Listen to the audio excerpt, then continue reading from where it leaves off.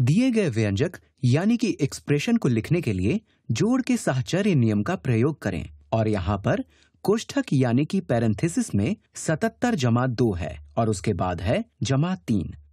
दोनों व्यंजकों को सरल करके ये प्रदर्शित करें कि इनसे समान उत्तर प्राप्त होता है। तो जोड़ का साहचर्य नियम, यानी कि एसोसिएटिव लॉ ऑफ़ एडिशन का मतलब है कि आप इन तीनों संख्याओं को किसी भी क्रम में लिखकर जोड़ सकते हैं। मैं इसे और विस्तार से समझा देता हूँ।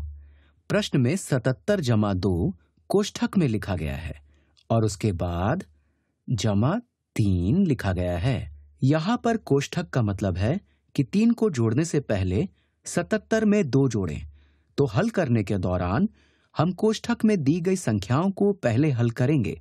तो सतहत्तर जमा दो हुए उनासी तो इस प्रकार कोष्ठक में दी गई संख्याओं का जोड़ उनासी है। और उसके बाद यहाँ जमा तीन लिखा हुआ है, उनासी जमा तीन हुए बयासी तो इस व्यंजक का उत्तर बयासी है। हमने प्रश्न में दिए गए व्यंजक को उसी रूप में हल किया है, जिस रूप में ये लिखा हुआ था। लेकिन जोड़ के साहचर्य नियम, यानी कि एसोसिएटिव लॉ ऑफ़ एडिशन के अनुसार, इससे कोई फ़र्क नहीं पड़ता। चाहे हम सतहत्तर और दो को पहले जोड़ें, या फिर दो और तीन को पहले जोड़ें, हम इन्हें अलग अलग क्रम में लिख सकते हैं। अगर मैं इसे अलग तरीके से लिखूं तो भी इससे समान परिणाम ही मिलेगा।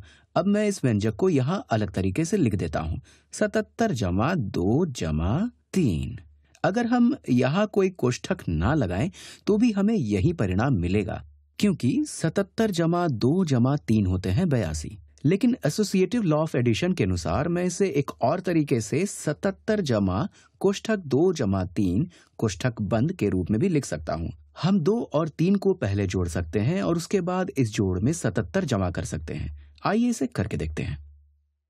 तो दो जमा तीन हुए पाँच तो ये हो जाएगा सतहत्तर जमा पाँच।